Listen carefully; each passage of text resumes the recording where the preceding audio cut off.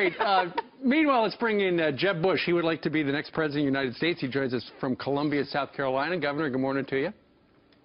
Good morning. Well, you uh, in the last week you had your brother out on the stump. You, uh, I think your mother is going to be joining you in South Carolina later today. The polls open exactly 24 hours from right now. What is your pitch to the people of South Carolina to say Jeb Bush is my choice to be president? My pitch is that I could be president from day one, that I would be a commander-in-chief that would have a steady hand, that would have a strategy to destroy ISIS, to rebuild our military, to keep us safe, and to focus on economic security being the big issue other than national security so people could have rising income again. I'm the candidate that's laid out detailed plans right. to fix how we tax and regulate to create higher growth and higher income for people. You know, there's a whole bunch of polls coming out fast and furious, and uh, you've definitely picked up some speed. However, this is the way it looks right now. Donald Trump with 32, Cruz with 19, Rubio with 15. This is the uh, this Fox. is our poll, and followed by uh, Carson and you are, are, tied at nine, and then Kasich with six. And I was listening to Marco Rubio last week, and he says, I'm not worried about these polls. He goes, I just need to stay in contention because they're not winner take all. Do you feel the same way? Look, I, I we're doing far better than that poll, I believe, based on other polls. But I'm focused on making my case that this is we're living in dangerous times. We need a serious person to be president, not someone who's uh, all over the map steadiness and having a serious conservative philosophy is the one that I think will win this election. South Carolinians are conservative and they, they believe in supporting the, the troops. They believe in making sure veterans get care. That's what I'm focused on. I think the polls will take care of themselves. All right, Governor, and as for the Democrats, we've been watching Hillary Clinton. Uh, she's starting to slip nationally now. Uh, and yet in this yeah. most recent interview, uh, we just aired a clip, she's refusing to directly say if she's ever lied to the American people. Let's actually listen and get your response. Yeah. I have tried in every way I know how, literally from my years as a young lawyer all the way through my time as Secretary of State, to level with the American people. You talk about leveling with the American people. Have you always told the truth? I've always tried to. Always. Always some people are going to call that wiggle room that you just gave yourself. Well, no, always, I, always tried to. No, I mean, I've Jimmy Carter to. said, I never lie to you. You know, you're asking me to say, have I ever? I don't believe I ever have. I, I don't believe I ever have. I don't believe I ever will. I'm going to do the best I can to level with the American people.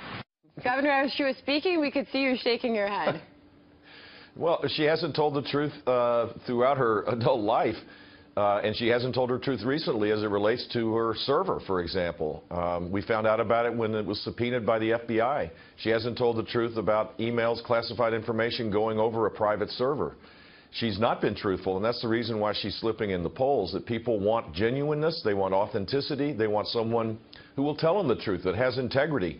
We've had Washington, D.C. is completely dysfunctional. You're not going to restore integrity in government unless you have a leader that, that mm -hmm. shows integrity each and every day.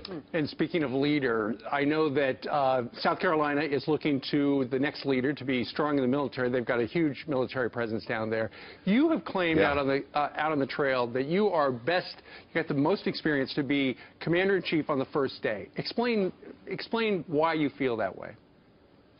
Well, 40 generals and admirals agree with that, that are actively advising and supporting my campaign. 12 Medal of Honor recipients. Lindsey Graham, the leading expert on national security matters, supported me rather than his two colleagues. I was commander-in-chief of the Florida National Guard for eight years. I dealt with eight hurricanes and four tropical storms in 17 months. I didn't complain. We led. We solved problems.